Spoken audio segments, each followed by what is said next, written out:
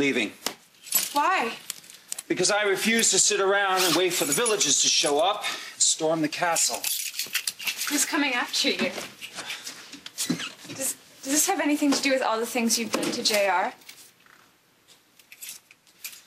You've been talking to him, haven't you? And I'm sure he's told you all sorts of horrible stories about me. The things he said you did to gain custody of little Adam? You're paying Amanda Dillon to make JR drink, dressing her up in Babe's clothes to freak him out? Are they true? Yes, every single one of them. Because I was not about to allow my grandson to be raised by some angry, pathetic drunk. Babe's son, your nephew, deserves a lot better. So if you feel that way, why are you leaving now? Why are you running? Because they turned the tables on me, Marissa. They're out for revenge. Any moment now, the cops are going to come walking through that door and they're going to arrest me for a murder I did not commit. Well, if you if you're innocent, why run? I mean, if you didn't do it, you shouldn't have anything to worry about. You know something? You're a sweet kid. But you have a lot to learn about the upstanding citizens of Pine Valley. The people in this town want my head, and they're working overtime to manufacture evidence to use against me, including the chief of police, whom I've pissed off on more than one occasion. Hubbard has planted evidence on me in the past, trying to bring me down, and I can guarantee you that's exactly what he's doing right now. But you've got the truth. You have the law.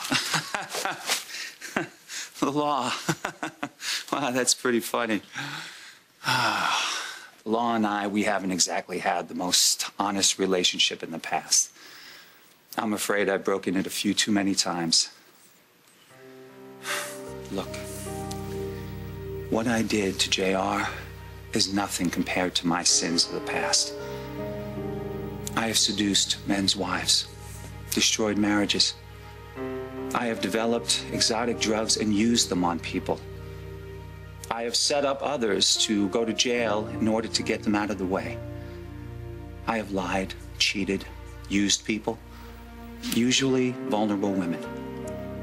I have manipulated a lot of people's lives in this town, Marissa, and I have dashed many a dream. So it's all right. If you feel like running out the door screaming, go right ahead. You wouldn't be the first.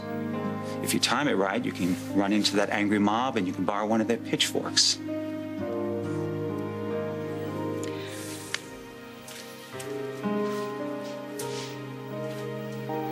I'm not going anywhere.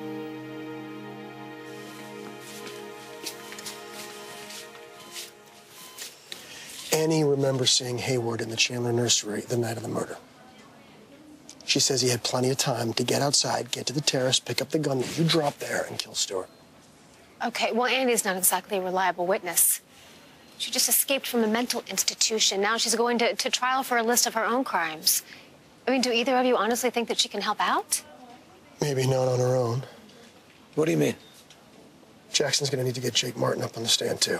Why Jake? Because he was here earlier when we found David standing over Annie's bed. Look, Jake told me that David was drugging Adam. David wanted Adam dead because he was keeping little A from him. But no one's believing that Hayward could drug Adam. No, we don't we don't have enough to nail him in court, no, because the nurse that took the fall for Hayward has conveniently disappeared. But I mean, come on. Given Hayward's past, it's not hard to imagine that he was drugging Adam. It's just that the drugs weren't working fast enough. I, I- I don't understand. What does any of this have to do with Annie? Because Annie had Adam up in the attic that night, right? Before the killer could correct his mistake in killing Stuart. So if it is Hayward, he can't be very happy with Annie right now. In fact, maybe he's angry enough to make her pay for it. And she's been locked up this entire time until today. She was brought here because she was injured in jail. She's here like five minutes and Hayward is standing over her bed. I mean, come on, it's a little bit suspicious. I know it's not proof positive, but it's a case we can start with to try and prove later. It's a lot of what ifs. Well, it does kind of make sense. I mean, it's not like this is the first time David has drugged people in this town. We need something more concrete. Hey, Just checked out Kendall's story about where she was when somebody tripped over her. We found a footprint. Do you know who it belongs to? Well, that's what I'm working on now. What size shoe do you two wear? ten and a half. Same here. Well, so far that rules out JR, Adam, Scott, and Stuart, and the two of you. Where does that leave Hayward? It's my next stop. Don't even think about it, Zach. Nobody plays hero. This time, I'm doing things my way. Listen, this is complicated as hell. I need facts to lead me, not your emotions. You want some facts? I'll, I'll give you some facts. I mean, David wanted Adam dead. According to Jake, David was drugging Adam with a very steady, very lethal dose of pills that he mixed up. On top of that, JR said that he caught Hayward trying to break into the Chandler property with a, with a gun, Jesse.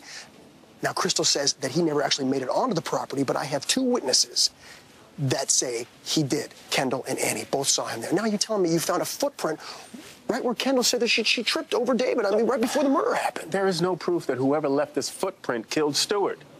It only proves that they were there, along with the rest of the town. Okay, now listen, I know that you all want to help Kendall. We all do. The best way to do that is back off and let me do my job. I will be in touch.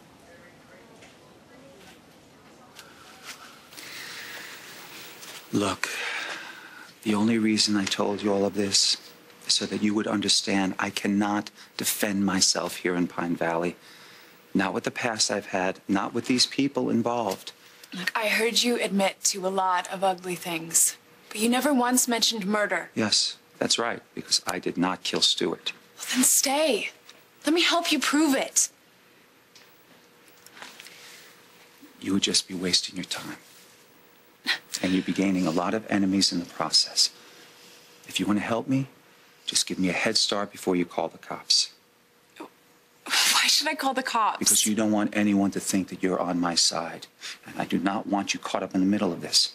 So you dial 911 after I've left. And you make sure that nobody drags you in there as an accomplice after the No, fact. you shouldn't have to run, not if you're innocent. No, you're right about that, darling. But this is Pine Valley. You'll understand that someday. Thank you. Thank you for offering to help.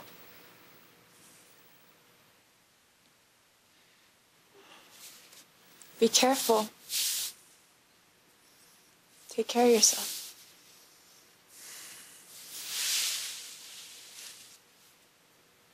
I wish things had been different.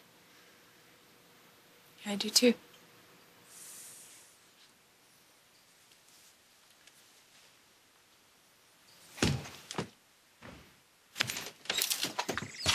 You going somewhere?